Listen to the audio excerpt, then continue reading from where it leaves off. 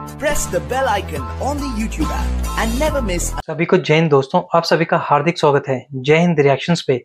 आशा करता हूँ कि आप सभी लोग बहुत अच्छे होंगे। तो आज की इंटरेस्टिंग और दमदार वीडियो में आप देखेंगे पाकिस्तान के वरिष्ठ पत्रकार मुजफ्फर चौधरी जी को, जिनकी स्पेशल गेस्ट होंगी भारत की बेटी और सुप्रीम कोर्ट की दबंग वकील हम सबकी चहेती नाजी लाई खान जी।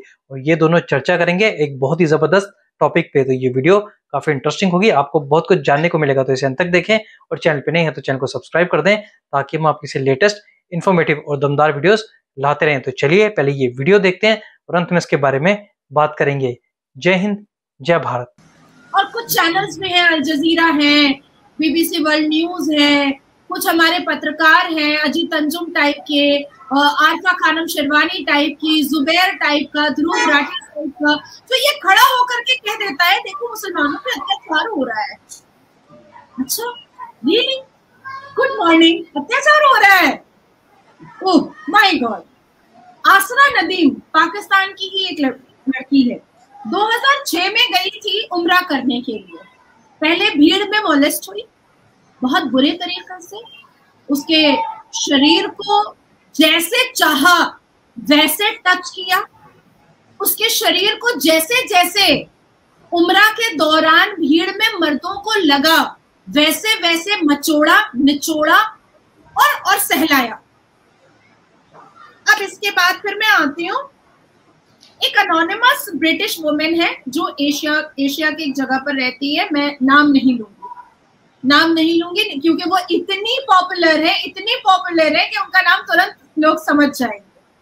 उन्होंने अपना अपना प्रैक्टिकल एक्सपीरियंस बताया है कि जब वो ग्रैंड मॉस्क में परफॉर्म कर रही थी तवाफ के लिए तो उनके साथ मोलेस्टेशन किया गया था। अब इंडोनेशिया की एक मुसलमान महिला के बारे में बात करते हैं। 2011 में उन, उनकी उम्र 17 साल थी। वो गई थी मक्का और वहाँ जाकर के वो जब तवाफ कर रही थी इतनी बेरहमी से मसला है बगल में तवाफ करने वाला कि वो चीख पड़ी थी, चीख पड़ी थी। अब इजिप्ट की एक महिला है जो वर्बली फिजिकली असल्ट हुई और उन्होंने कंप्लेन भी दर्ज करवाई थी जो वहाँ पर गार्ड्स होते हैं मक्का के अंदर। उनको कंप्लेन बाजाबते लिखित रूप में उन्होंने दर्ज करवाया था और कई फोटोग्राफ्स वगैरह भी उन्होंने वहाँ के गार्ड्स को दिया था कि ये व्यक्ति ने मुझे वर्बली मलेस्ट किया है। अब आते हैं। अनुषे मुस्ताक, पाकिस्तान फिर से रहती ऑस्ट्रेलिया में है। अगर सुन सुन रही होंगी तो उनको समझ में आ जाएगा। और दस साल की उम्र थी। लीबिया से भी उनका काफ़ी अच्छा रिलेशन है।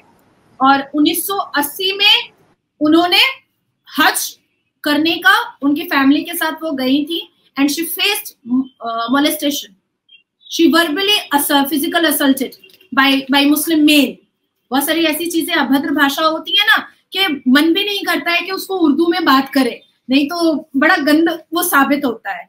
अब बात यहाँ पर आती है कि लोग कहेंगे, इस्लाम बहुत अच्छा है, पर मुसलमान खराब है। यही कहेंगे। अब मैं कुछ बोलूँगी? तो लोग मुझे गालियाँ देंगे मुसलमान। कुछ बोलूँगी, कहेंगे कि अरे ये तो ये तो हिंदू बन चुकी अरे भैया, मैं नई हिंदू बनी और किसी के बाप की ताकत नहीं है कि कोई मेरे से मेरा इस्लाम छीन सकता है। जो व्यक्ति जिस धर्म और जिस मज़हब में पैदा होता है, वो उसी धर्म और मज़हब के काबिल भी होता है और लॉयल भी होता है। अचानक से किसी दूसरे मज़हब या धर्म में जाने से वो उस मज़हब या धर्म का लॉयल कभी नहीं होता। मैं ये बात बहुत अच्छे से जानती हूँ। मस्जिद में नमाज़ क्यों खत्म हुआ था औरतों के साथ? बताइए। ये वाक्य हुआ था इस तरह का कोई? छेड़ा गया? क्योंकि कि? जब औरतें रुकू में जाती हैं जब औरतें सजदा करती हैं तो उनके पिछाड़ों पर हमारी निगाह चली जाती है और हमारा वज़ू टूट जाता है। और तब से लेकर के अब तक इसको बिल्कुल तावीज बाँध दिया गया है कि औरतें मस्जिद में नमाज़ पढ़ने नहीं जाएँगी। कोई कसूर नहीं। औरतें मस्जिद में जाकर के कपड़ा खोल के नहीं खड़ी होती हैं। मस्जिद में हम जाते हैं तो पूरे भरे कपड़े में जाते हैं और सुन्नत के हिसाब से जो पाँच लिबास हमारे शरीर पर होना चाहिए वो तो होता है। पर साथ साथ एक और भी बड़ा दुपट्टा होता है ऊपर से जिससे हमारा पूरा शरीर ढक जाए। है ना? शरीर के कट्स दिखाई ना दे।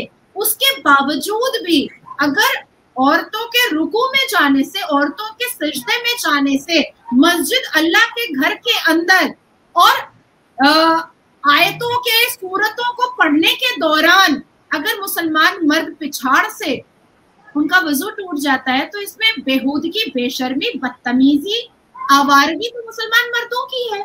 हमें तो ये शरीर अल्लाह ने देकर पैदा किया है ना, हमें शरीर का क्या करें?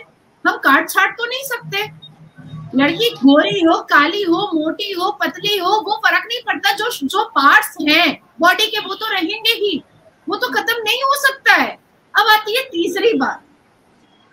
कि मक्का में बलात्कार सुन करके कितना चौंकने की ज़रूरत मुझे तो नहीं लगी। लोग चौंक रहे हैं, चौंक करके ट्वीट कर रहे हैं, मुझे नहीं लगा। अगर सूर्य अल नूर किसी ने पढ़ा है और बामायने पढ़ा है तो ये बात तो बहुत बहुत अच्छे से उस मुसलमान मर्द को पता होगी कि लूजर आउटफिट फिट जिलबाब का ज़िक्र ही क्यों आया सूर्य नूर में? जिलबाब इज़ एन एरोबिक वर्ड और उसका अर्थ निकलता है लूजर आउटफिट और और चेहरा ढकने की बात प्रॉफिट मोहम्मद सल्लल्लाहु अलैहि वसल्लम ने किया ही क्यों था? क्योंकि उस वक्त जो भी रोड से, रास्ते से जो भी महिलाएँ गुजरती थी, मुसलमान खातन उनके साथ मोलेस्टेशन राह चलते हुए मर्द करते थे। और तब जाकर के अल्लाह तबारक ताला ने अपने अपने एंजल फरिश्ते जिब्राइल सलाम से एक मैसेज भेजा प्रॉफिट को कि आप अपने घर की खातनों को और सबको बोले कि वो एक लूज कपड़ा पहने और अपना शक्ल ढक करके निकले ताकि ये छेड़छाड़ और बदतमीजी करने वाला शख्स ये सोचने पर मजबूर हो जाए कि इस पर्दे के पीछे मेरी माँ भी हो सकती है, मेरी बहन भी हो सकती है। वहाँ से सूर्य अलनूर में जिलबाब का ज़िक्र आया। अगर मुसलमान मर्दों ने सूर्य अलनूर को पढ़ा होगा। अब आती है चौथी बात। अगर सूर्य मरियम वाकई में मुसलमानों ने पढ़ा है और बामाइने पढ़ा है तो मरियम सलाम को पत्थर मारने वाले, उनके चरित्र को उछालने वाले, उनको गंदी गंदी गालियाँ देने वाले, उनको घर से बेघर करने वाले, उनको उनको अश्लील अश्लील बोलने वाले, यही मुसलमान मर्द थे? यही मुसलमान मर्द थे? एक होता है मुजफ्फर भाई, अल कुरान को रट लेना। और एक होता है ये इंक्यूजिटिवनेस होना कि आकर मेरा इस्लाम बोल क्या रहा है? आखिर मेरे प्रॉफिट लोगों के साथ हुआ क्या था? आखिर ये अल कुरान अलहामी किताब उतारनी क्यों पड़ी? आखिर मुसलमानों को इस अलहामी किताब अल कुरान के साथ जुड़ने क्यों बोला गया? आखिर ये क्यों कहा गया कि कोई फिरका नहीं है, सिर्फ़ अल कुरान है और मुसलमान है? तो जिसके अंदर ये जिज्ञासा होती है, जिसके अंदर ये इंक्यूजिटिवनेस होती है, वो पढ़ता है। वो उसका अर्थ समझता है। क्या सूर्य अल, अनम में सूर्य अल निसा में जेंडर इक्वालिटी की बात नहीं कही गई है? कही गई है। अल्लाह तबारक ताला खुद कई सूरतों में कह रहा है कि उनकी नज़रों में जो जो वैल्यू मर्द का है वही वैल्यू औरत का भी। सूर्य अल अनम में भी उन्होंने साफ़ कहा है। सूर्य अल बकरा के तीन आयतों में उन्होंने साफ़ कहा है जहाँ पर एक जगह जहाँ पर नस्फ आता है और एक जगह जहाँ पर आ, सलासा आता है। ये दो जगह उन्होंने साफ़ लफ्जों में कहा है। आप आयतें निकाल करके सूर्य अल बकरा की पढ़िए सूर्य अलनम की पढ़िए, जहाँ पर साफ़ लफ्जों में लिखा हुआ है कि हमारे लिए जेंडर डिस्क्रिमिनेशन नहीं है। अब आती है बात, पर जेंडर डिस्क्रिमिनेशन हुआ ना? हो रहा है ना? अल कुरान के वुमेन एम्पावरमेंट की सारी बातों को निकाल करके फेंक दिया मुसलमान क्लेरिक और प्रेचर ने। बेहूदगी की सारी बातों को लेकर के ताबीज बना करके उछल पड़ा और उस पर उस पर शरिया लॉ बनाया। दोस्तों आशा करता हूँ कि वीडियो को आपने अंत तक देखा होगा और हमेशा की तरह नाजिया लाई खान जी का दमदार और बेबाक रिएक्शन आपको काफ़ी पसंद आएगा जहाँ पे आपने देखा नाजिया खान जी ने कैसे मज़हब की सच्चाई को एक्सपोज किया और मुझे पूरा यकीन है कि नाजिया खान जी की बातें सुन के जो मौलवी मौलाना है उनको काफ़ी ज़्यादा मिर्ची लगी होगी। तो इसके बारे में आपके क्या विचार है? आप अपने विचार हमें कमेंट सेक्शन में लिखकर ज़रूर बताएँ और एक बार फिर चैनल पे नहीं है तो चैनल को सब्सक्राइब कर दें। ताकि हम आपके लेटेस्ट इंटरेस्टिंग और दमदार वीडियोस लाते रहें। तो चलिए, फिर मिलेंगे ऐसी किसी इंपॉर्टेंट और ज़बरदस्त वीडियो में। तब तक अपना ध्यान रखिए। जय हिंद, जय भारत।